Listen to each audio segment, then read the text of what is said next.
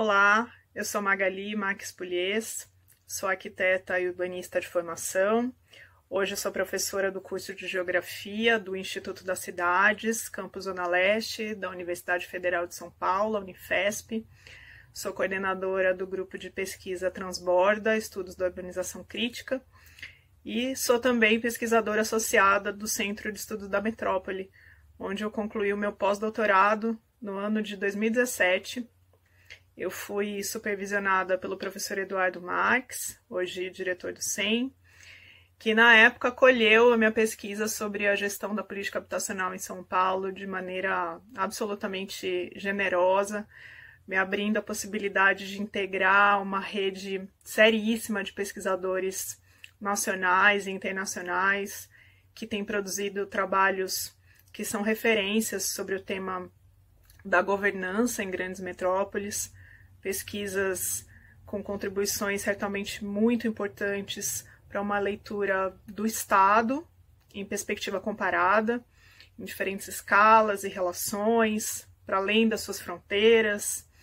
leituras que adensam, complexificam de fato as análises mais tradicionais que a gente costuma construir sobre as políticas do urbano, que é algo que o professor Eduardo vem fazendo de maneira tão comprometida há tantos anos e que certamente também é parte fundamental daquilo que o SEM tem construído como conhecimento empírico e teórico sobre as políticas e, sobretudo, sobre seus desdobramentos em relação à redução das desigualdades. Acho importante destacar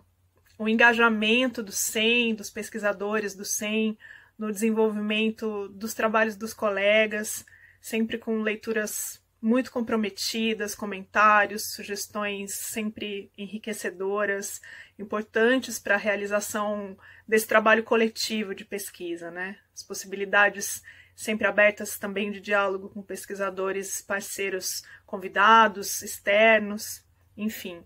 Esse intercâmbio é uma prática presente no cotidiano do SEM, que certamente só enriquece a construção desse conhecimento coletivo que é produzido, difundido ali com tanta competência e seriedade através das muitas iniciativas, frentes que têm sido promovidas aí ao longo desses 20 anos de existência do SEM. Então, vida longa ao SEM, vida longa à universidade pública, e a ciência, sobretudo produzida de forma comprometida com as transformações sociais.